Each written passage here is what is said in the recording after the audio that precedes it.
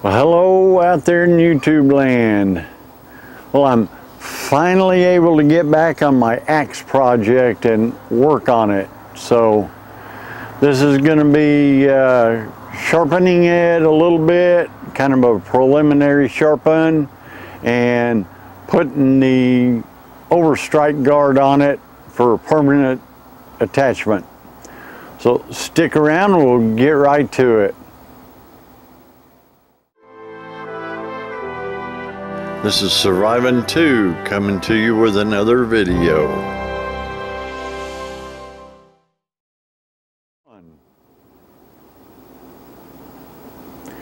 Well, thanks for sticking around. I got a little segment of a video here for you of me pre-sharpening the axe head. I did that before getting out here and doing this.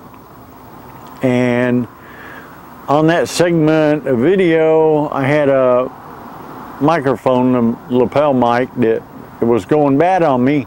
So I had to ditch it and you're gonna have to listen to some hum on it. But uh, yeah, you get to see that video and here it is.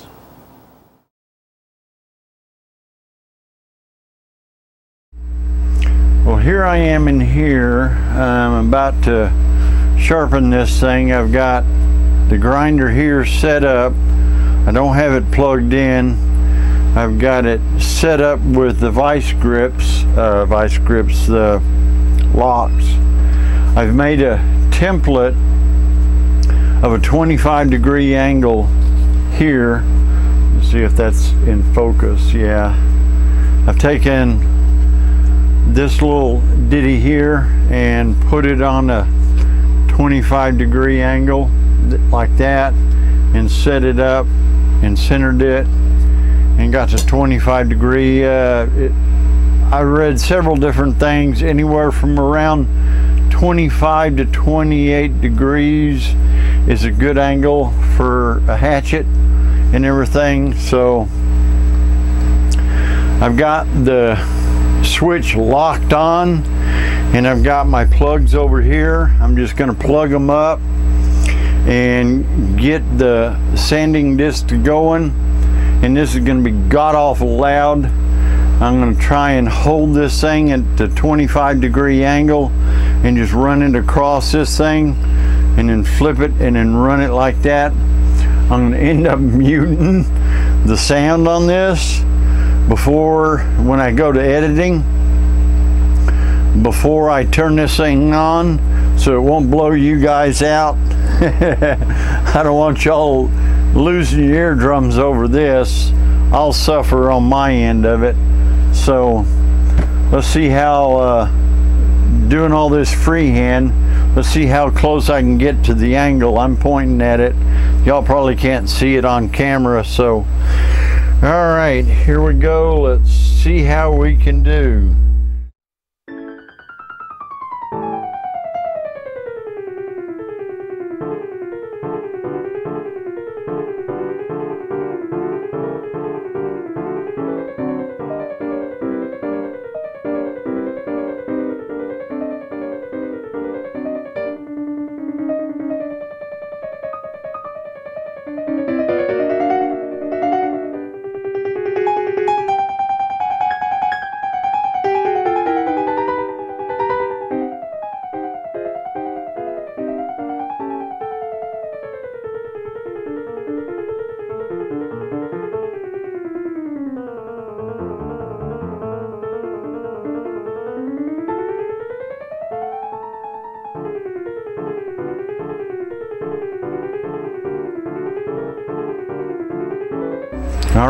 Y'all can have your hearing back now and the sound.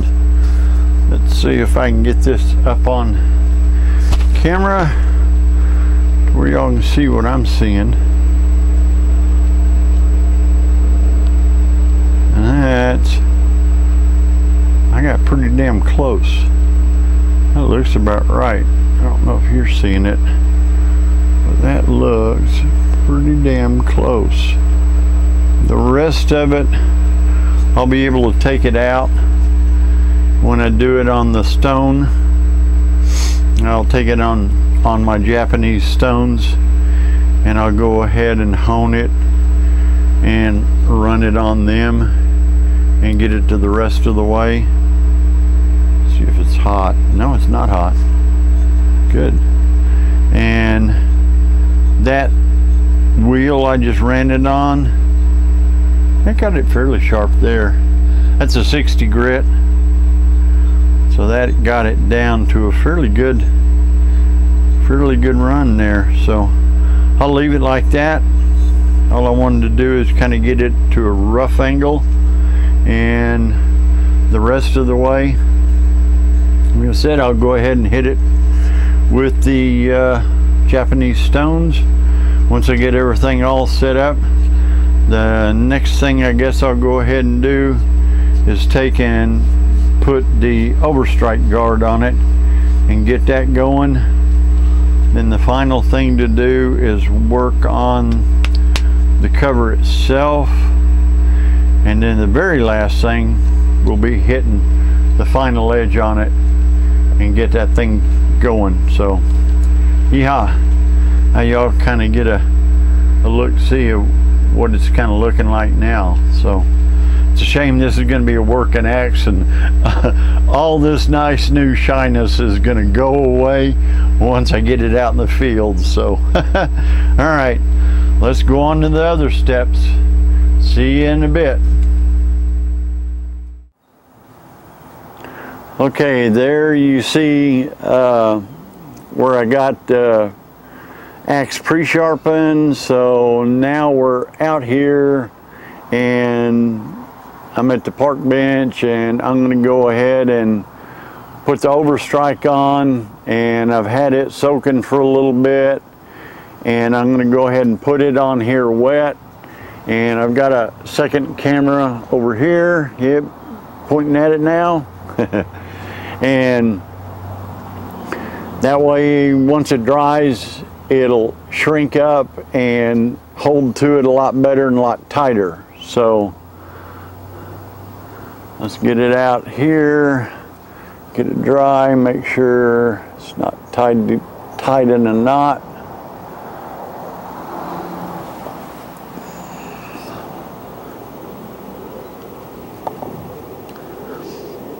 Shake a little of the wetness off.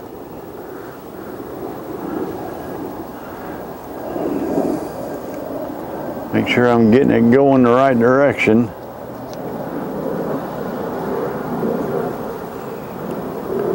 string everything through here.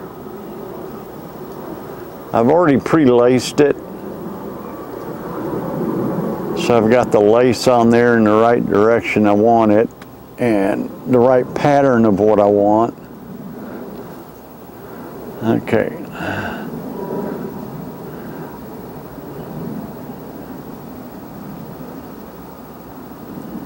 If I can get my hand in here and get it right.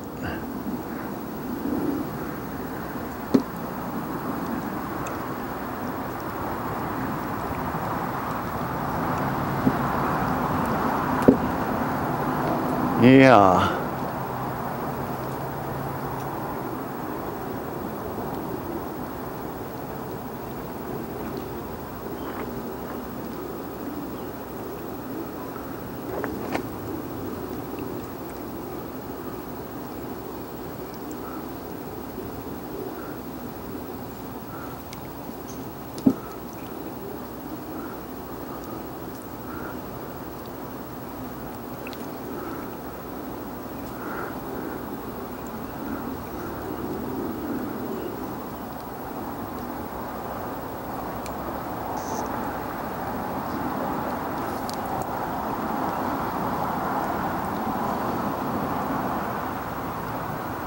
There it goes.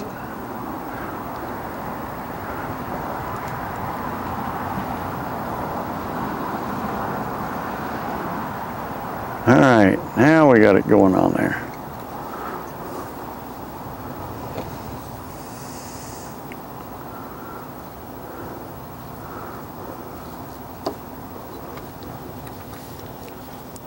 Now, make sure you can see that. Yep, get it pulled back in the frame.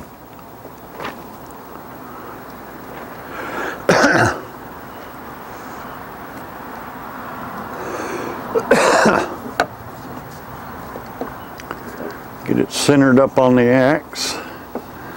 Get it shoved up to where I want it. See if you can see that. I'm trying to make sure I get it to where this one's seeing it too. So I've got stitching on this, this portion of it.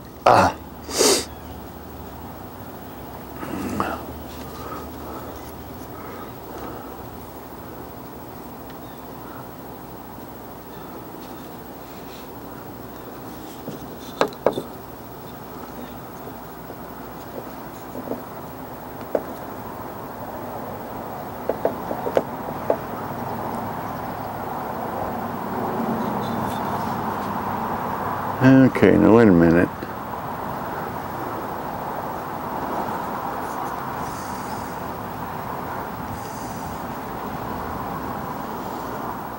Yeah. I think there's an issue with my pre-lacing it.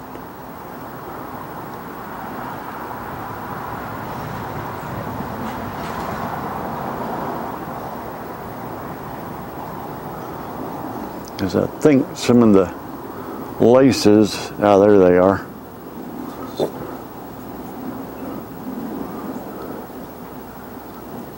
Yeah, they just went further down it. All right, there we go.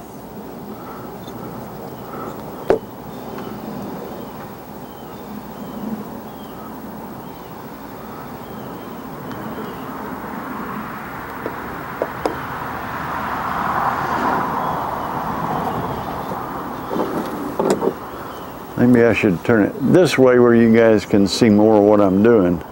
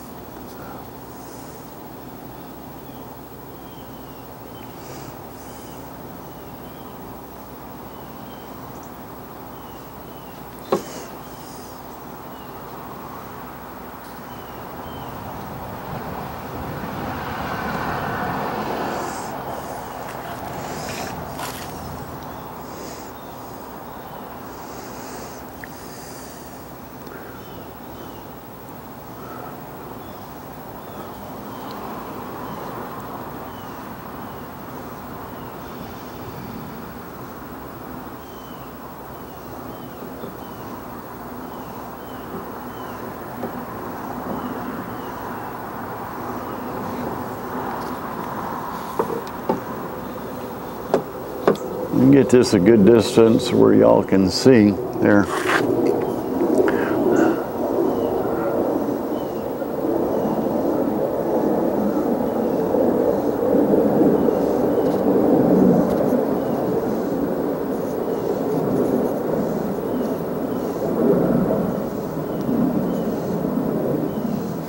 Get my big fat hand out of the way, y'all might appreciate that.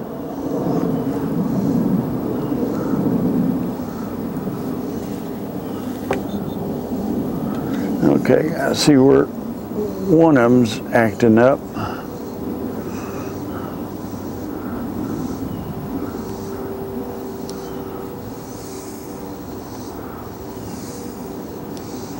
guess I need to have a pair of needle nose or something over here to be doing this with.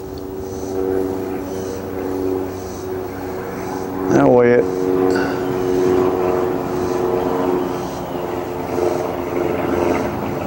y'all can see what's going on more.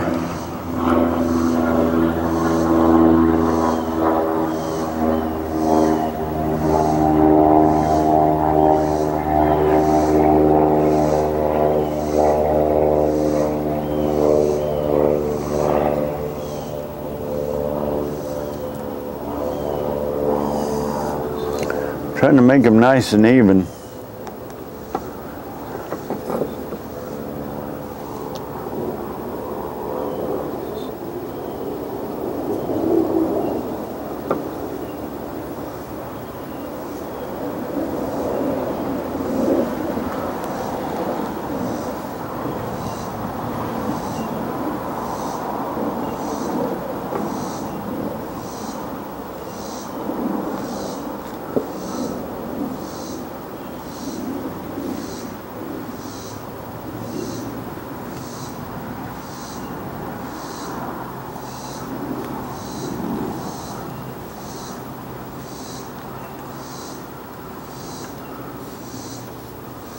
Mm, getting there. Slow.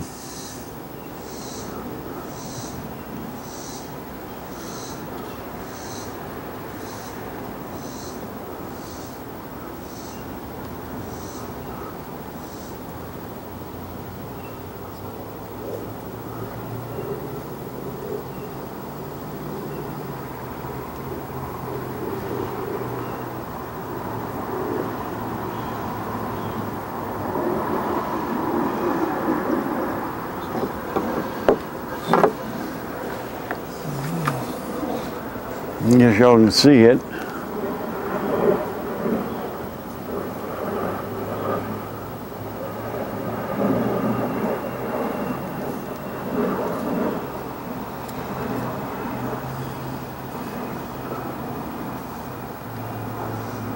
Get all that excess.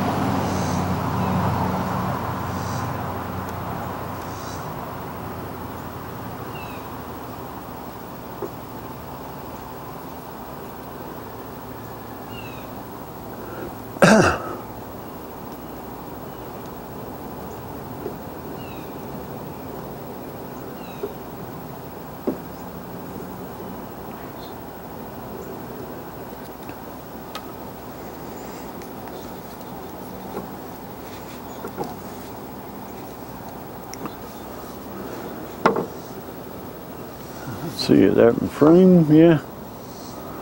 There, that's that's got it there.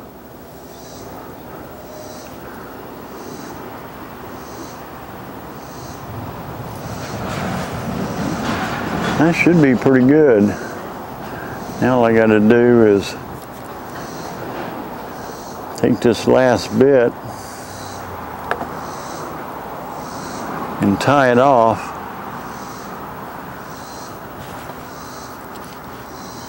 Get it out here where y'all can see it.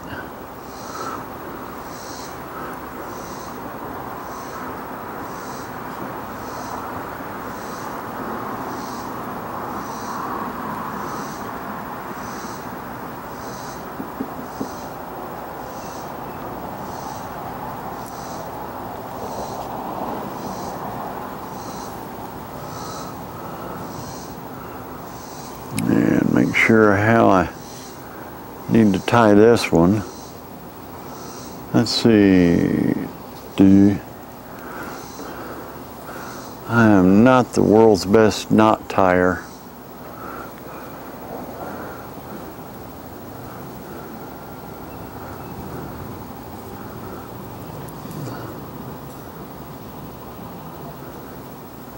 Okay think I need to have it going this other way.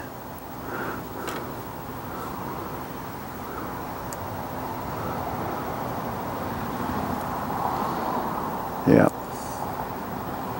Yep, yep, yep, yep.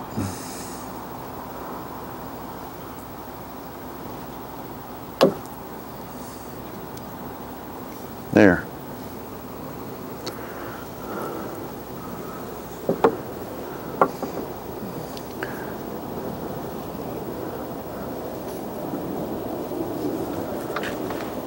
Now then I get a good pair of clippers and clip real close on that and let this dry real good. And that's going to be up up real tight.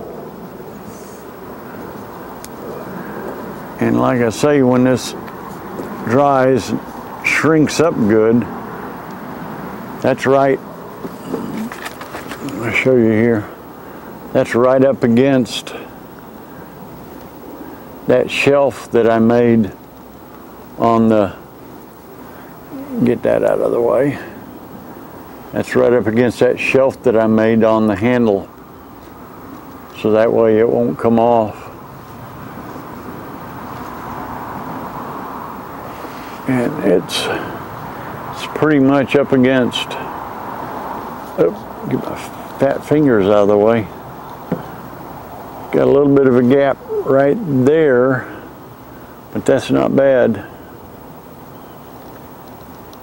not bad for a first attempt and here's the here's kind of a close-up of the let's see will you focus there you go that's that first attempt at uh, sharpening on it. That's with the grinder, the right angle grinder. So there it is. That's pretty uniform around the back. And uh, center, I have a, a V shape stitched into this thing. It's fair. It's not dead center, but that's all right. I can live with it. I'll be happy with it. As long as it protects the axe handle, that's the main thing. That's all it's made for. Once it dries, it'll it should shrink, uh, shrink, that's easy for me to say, shrink right down. Yeah, I can feel where the leather is right at the edge of where that shelf is for it. So, yeah, not bad. That'll be pretty good. Now, the next video will be me working on the cover for this thing. That'll be interesting. Uh, I've decided on doing a flap over cover for it. And I'm going to be having to cut some new leather for that. I've got, protect that. I've got some, I got a box here, you can see it off to the side. This is where my leather stuff is. I've got a whole sheet. Got a whole sheet of leather here for it. So I'm going to take it and figure out, make a flap over for it and do that. Once I get it made up and done right, I'm gonna make it the same color as the overstrike guard. I've got some stain somewhere in here. There. I got some stain for it, so I got to get it made first and then all the parts and pieces put on it and everything and then stain it. So that's it for this video. See you on the next one on, uh, what is it, part four. And that should be the finish of the axe. I should be done with it then. So y'all take care out there. Later.